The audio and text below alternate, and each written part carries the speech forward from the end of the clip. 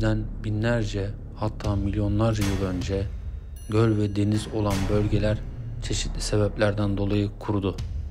Birçok insan bu gibi olaylara inanmasalar da su canlılarına ait birçok fosil bulunmuştur. Tabii ki bu olaylar eski zamanlarda olduğu için pek de önemsenmiyor. İçinde bulunduğumuz zamanlarda ise öyle olaylar oluyor ki insanlar görseler dahi bir anlam veremiyorlar. Dereler, nehirler, hatta göller bile kurumaya başladı. Bunlara bir örnek de Manisa'nın Marmara Gölü. Maalesef tamamen kurudu.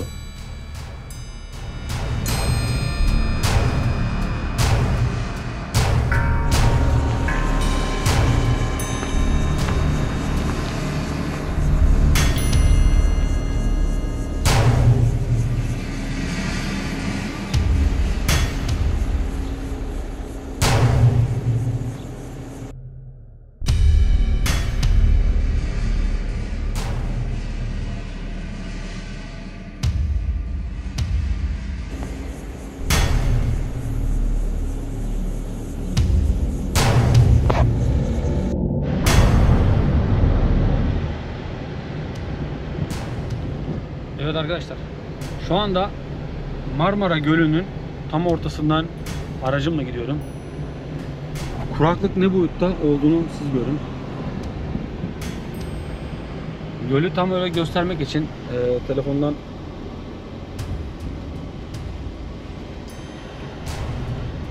nerede olduğunu gösteriyorum şu anda. Bakın e, haritada göl, gölün dolu halini gösteriyor ve şu anda ben gölün tam ortasındayım. Görüyorsunuz arkadaşlar.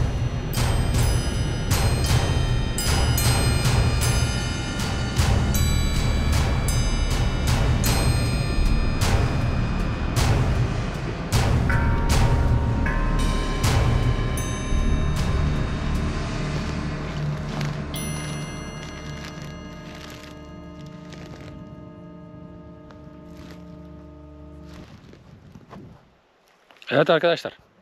Bir zamanlar burası bir göldü. Hani diyorlar ya bir zamanlar burası denizdi. Kimse inanmaz. Şimdi burası evet hakikaten bir göldü. Ama çok eskilerden değil. Yakın bir zamanda göldü. Ve şu anda tamamen kurudu. Ee, tabii ki insanlar da anız yapmışlar. Ekin ekmişler. Evet. inanması güç bir olay tabii ki. Kuraklık o denli olmuş ki ee, burası kuruyor. Burası Göl Marmara arkadaşlar. Manisa'nın Göl Marmara Gölü. Uçsuz bucaksız araziyi görüyorsunuz. Tamamıyla burası 200 sene öncesinde, 3-4 sene öncesinde tamamen buraları sula, su ile doluydu. Şu kıyı şeridi boyunca böyle tamamen buraları su doluydu arkadaşlar. Şimdi tamamen kurudu. Bu da demek oluyor ki demek ki e, öyle zamanlar geliyor. Denizler kuruyor, göller kuruyor, dereler kuruyor. E, burası da işte bundan 50 yıl sonra, 100 yıl sonra, belki 200 yıl, 1000 yıl sonra buralarda bir yerleşim yeri olacak. Ve sonrası kalan, bizden geri kalan insanlar eğer o dönemler yaşam olursa burada bir deniz varmış, burada bir göl varmış diyecekler.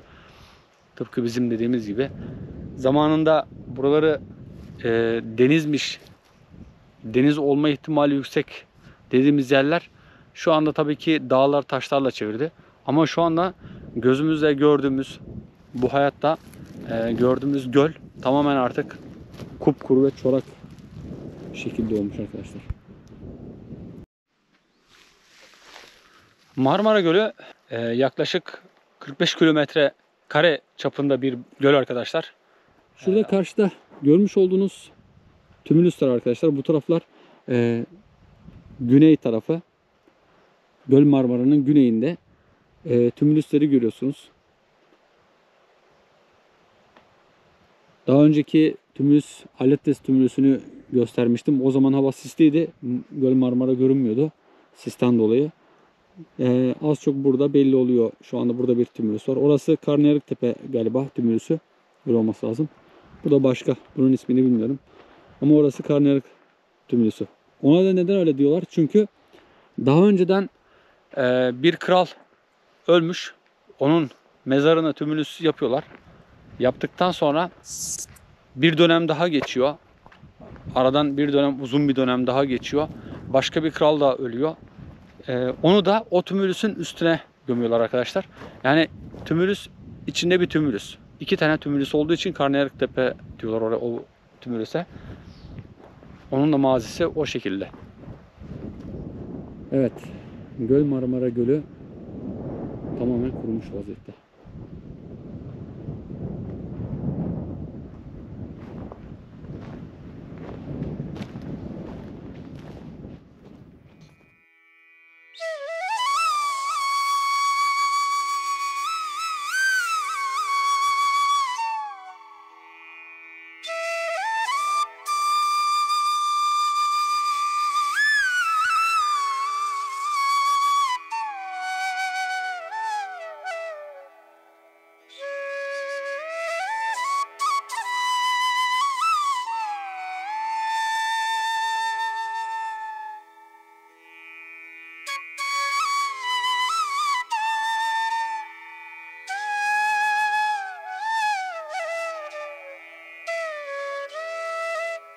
you